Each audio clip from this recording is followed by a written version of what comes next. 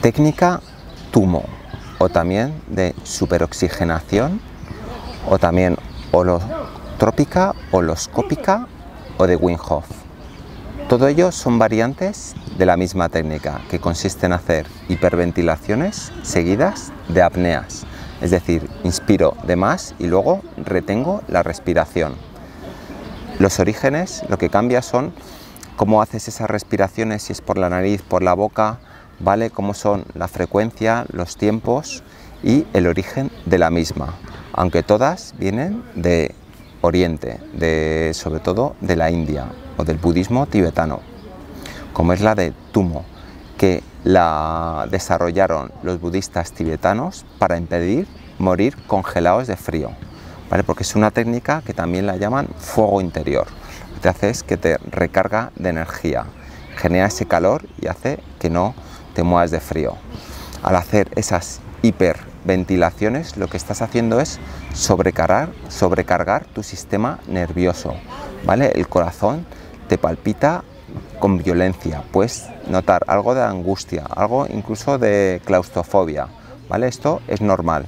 Te aconsejo que en, en ese caso pues cedas la técnica y hagas técnicas más sencillas antes de meterte en una técnica tan agresiva, ¿vale? Porque estás, vas a hacer que tu sistema nervioso se resete.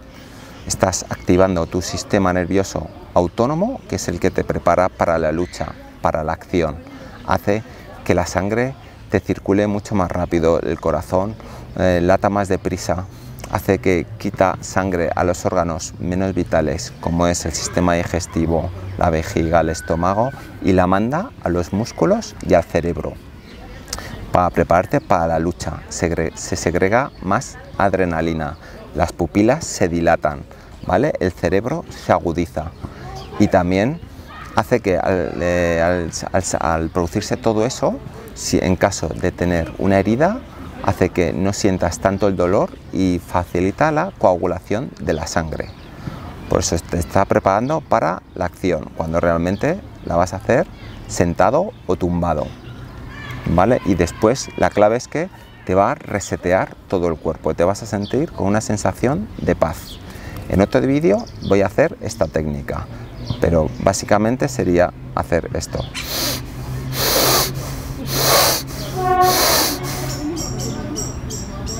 Es decir, hacer la inspiración forzada, la expiración normal pero no completa y después de 30 respiraciones aguantar la respiración.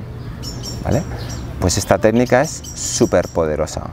Te aconsejo que la hagas siempre que puedas, una vez al día. La puedes hacer por la mañana antes de desayunar con el estómago vacío o la puedes hacer antes de irte a dormir también. ¿vale? Va a ser una técnica que también te ayuda para eh, liberar ese estrés.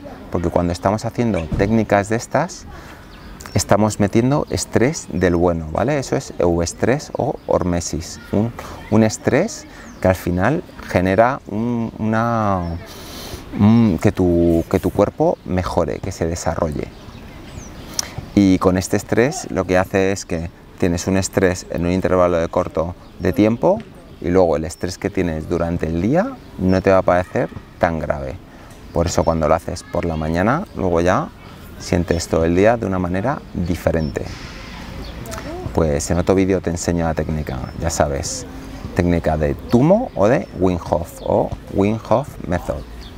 ¿Vale? Wim eh, ha popularizado estas técnicas porque es una persona normal, ya te lo, te lo enseño en otros vídeos, ¿no? una comparación con un rama hindú y aparte le han estado estudiando en muchas universidades, ¿vale? Porque ha hecho un montón de proezas, simplemente con la respiración, la focalización mental y el frío, ¿vale? Y ha demostrado que con todas estas tres puedes hacer un control corporal y mental muy elevado, incluso liberarte de enfermedades, sobre todo de las enfermedades crónicas que se producen por un desequilibrio de nuestro cuerpo.